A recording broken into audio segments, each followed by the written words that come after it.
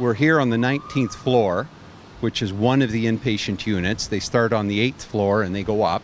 The views from up here of the city of Montreal, the St. Lawrence River, the bridges, the Mont Royal are just magnificent, and we think that that's a tremendous feature for patients that have to come to hospital and are recovering.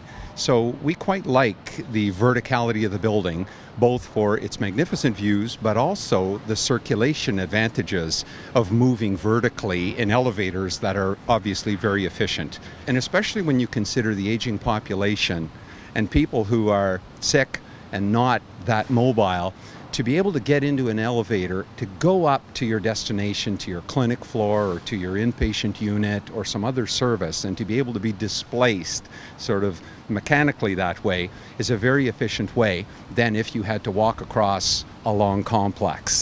That's what I mean when I say verticality is, is a good thing in terms of people movement, but it's also a very good thing and very efficient for moving products throughout the hospital. So, back of house, we have a logistics system with automated guided vehicles that are going to be able to deliver all of our supplies in a just in time uh, sort of uh, process, which we also think is quite efficient for you know, the future uh, activities of the hospital.